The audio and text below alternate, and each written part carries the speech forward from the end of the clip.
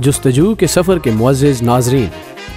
आज हमारी अगली मंजिल यूरोप का एक गैर मरूफ मुल्क एस्टोनिया है, जो कि मगरब के शुमाल मशरक में वाक़ है। शुमाल में इसकी सरहदें फिनलैंड की खलीज, मगरब में बाल्टिक सी, जनूब में लेटविया, जबकि मशरक में रूस से मिलती हैं।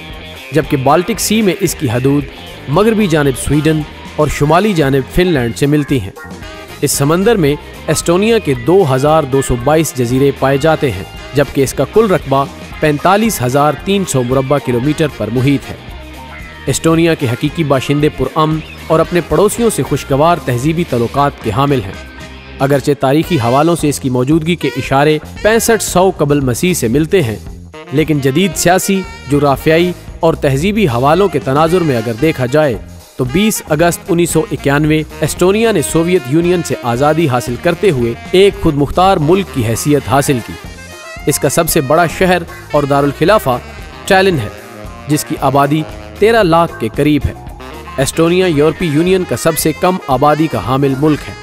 इसके काबिल दीद मकाम की जानब जाने से कबल नए आने वाले दोस्तों से गुजारिश है कि वो चैनल को सब्सक्राइब कर लें। विलजनरी एस्टोनिया के शुमाल में वाक़ वो शहर है जो अपनी इंतहाई कदीम, यानी छब्बीस सौ साल पुरानी तारीखी रिवायात और मुतद कदीम मकाम की बदौलत इंतहाई अहमियत का हामिल है। यहाँ पर सोलहवीं सदी का विलजंडी का किला ख़ास तौर पर तारीख से दिलचस्पी रखने वालों के लिए एक मिसाली तारीखी विरसे की हैसियत रखता है। यहाँ पर हर साल जुलाई के महीने में एक म्यूज़िकल फ़ंक्शन का अहतमाम किया जाता है, जिसमें बीस हज़ार से जायद लोग शिरकत करते हैं। जबकि साल भर यहाँ पर दीगर तफरीहत भी जारी रहती हैं।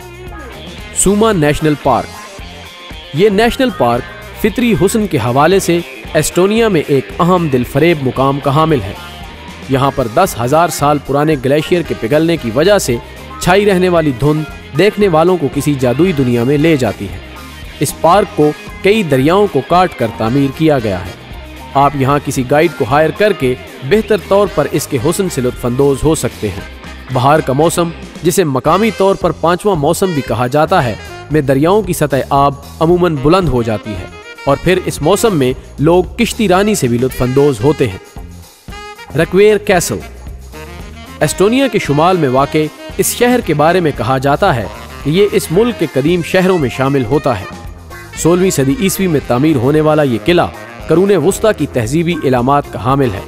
यहाँ पर ख़ास तौर पर रात के वक्त आने वालों के लिए जगह जगह शराब बेचने वाले उनके मुंतजर होते हैं। जबकि आप वहाँ पर रिवायती खानों से भी लुफानंदोज हो सकते हैं। यहाँ की सैर तारीख के तालब इलमों के लिए ज़िंदगी का एक नाकाबले फरामोश तजर्बा हो सकता है। नारवा कैसल। एस्टोनिया के इंतहाई मशरक में वाक़ नारवा कैसल जो कि जंग अजीम दोए में बदतरीन बम्बारी की बदौलत तबाह हो गया था। को जिस तरह दोबारा उसी हालत में तामीर किया गया, बिलाशुबा काबिल तारीफ़ है। तेरहवीं सदी में तामीर होने वाले इस किले को हरमन कैसल के नाम से भी याद किया जाता है। इसके अंदर बनाए गए म्यूज़ियम में करून वस्ता के ज़माने की मुख्तलिफ़ अशिया सयाहों के लिए इंतहाई दिलचस्पी की हामिल है। टैलेंट एस्टोनिया में सबसे मकबूल तरीन और खूबसूरत मकाम उसका दारुल खिलाफा टैलेंट है, जो कि कदीम ज़माने की इमारतों की बदौलत खसूसी शोहरत का हामिल है। यहाँ पर वाक़ एक मकाम टूम्पिया को शहर का दिल भी कहा जाता है, जो कि ना सिर्फ़ बुलंदी पर वाक़ है, बल्कि पंद्रहवीं सदी में तामीर होने वाली इमारत और कदीम तर्ज तामीर की हामिल गलियों की बदौलत सयाहों के लिए खसूसी तवज्जो रखता है। इस इलाके की हकूमती जानब से न सिर्फ़ हैरान कन हद तक हिफाजत की गई है बल्कि यहाँ तक पैदल रसाई को भी आसान तरीन बना दिया गया है। इसकी बुलंदी पर खड़े होकर आप पूरे कदीम शहर का नज़ारा कर सकते हैं। प्यारे दोस्तों, वीडियो पसंद आने की सूरत में अपने दोस्तों के साथ भी ज़रूर शेयर करें और हमें भी अपनी कीमती तजावीज़ से आगाह करें।